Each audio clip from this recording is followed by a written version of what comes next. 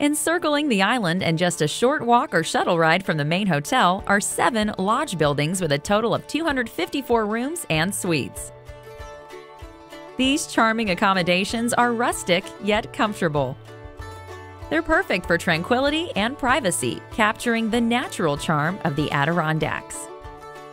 Our lodge rooms and suites are available on two levels, and both offer a vacation retreat within minutes of everything the Sagamore has to offer its guests. You can spend all day soaking in the activities in and around the main hotel, yet retire to the privacy and further exclusion of your lodge. And for the lake facing suites, sit on your patio to watch Mother Nature complete another day.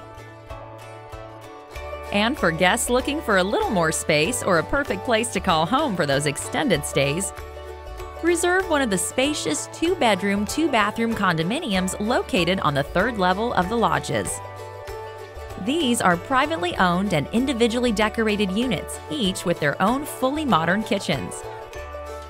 All the comforts of home with resort style luxury. And did we mention the views?